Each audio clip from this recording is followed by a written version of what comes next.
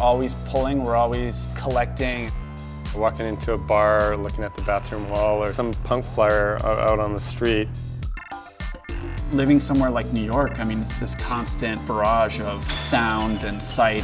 How do you make meaning from this all? And, and how do you weave it together for your own personal narrative? And then how do you share that back with somebody to let them find something through that?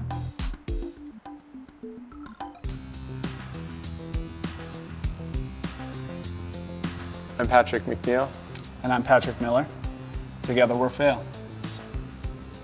Pat and I met in high school. We grew up a lot with comic books, wrestling, baseball cards. There was very much this idea of collecting all these little bits and pieces and then sharing that.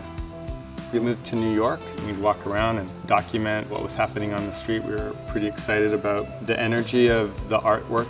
We liked the immediate accessibility to the public, the fact that it was alive. At that time we'd called ourselves Alife. We started messing with the letters and we got FAILE. And we kind of like the idea of fail to succeed, look past your failures and you can find a life. The show really covers the last five years of our work. The arcade kind of led into like a whole new body of work that included music, digital media,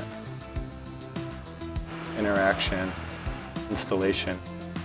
It evolved out of that old love for arcades and sort of the seediness mixed with this elation. It was kind of a transformative space where you really felt somewhere totally different.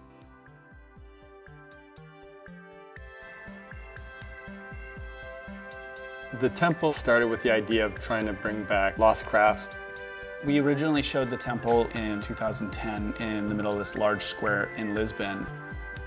Across the bottom of the temple, it says Savage Sacred Young Minds. The title of the show, which is something that's driven our work, is kind of this idea of the passions and contradictions of youth.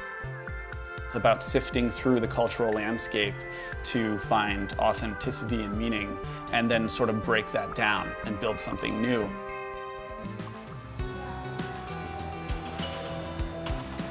Brooklyn Museum is our neighborhood museum. The shows always have a way of being very personal and moving, but yet you can still relate to on a much broader scale. The fact that you hear laughing and screaming, and the fact that you can touch it and it's not precious. It's a full sensory experience in that way. How about you're Patrick McNeil of FAILE, and I'll say I'm Patrick McNeil, Miller of FAILE. But then it's Would that fail, work? fail. I don't know. Let's hope you don't have to use this.